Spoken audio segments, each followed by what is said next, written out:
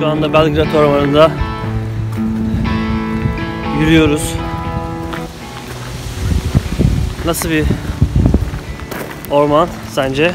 Orman çok güzel. Yedi göller gibi. Yapraklar düşmüş. Artık sonbaharı tamamen gösteriyor. Evet. Göl var bir tane. Göle doğru ilerliyoruz. Kertenkele zannettim. Bu yaprakmış. Yaprak.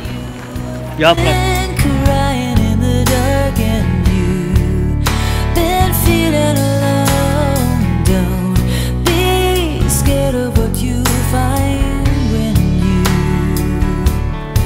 Belgrad Ormanı'nda güzel bir yürüyüş parkuru var. 6000 metre boyunca yürüyorsunuz. Güzel havalarda buraya gelip böyle yürüyüş yapabilirsiniz. Gayet güzel. Kahvenizi alıp ya da meyve suyunuzu alıp buralarda yürüyebilirsiniz.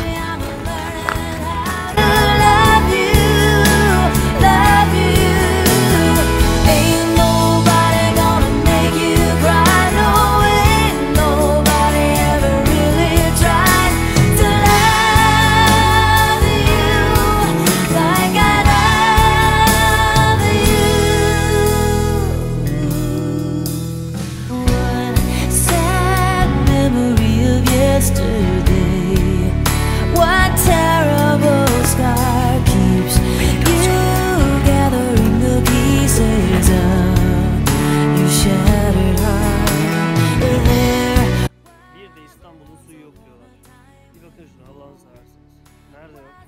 Nerede yok? Her yer su. Belgrad Ormanı'nda mantar aramaya başladık. Bakalım mantar bulabilecek miyiz? Çok fazla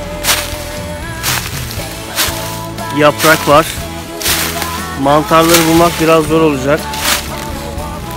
Aa, sopa buldu. Evet.